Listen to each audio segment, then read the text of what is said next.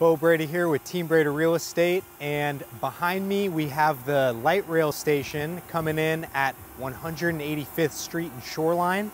This is set to open in 2024 and it's going to be a complete game changer for commuters heading down to Seattle from Shoreline.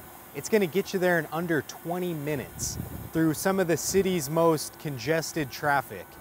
Now, if you look back over here, we through these neighborhoods, they're zoned MUR 70, which means they can build 70 foot apartment buildings.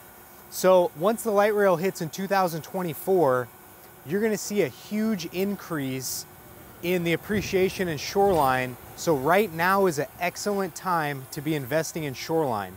If you have any interest in purchasing a home in shoreline, feel free to reach out to us anytime. Thanks.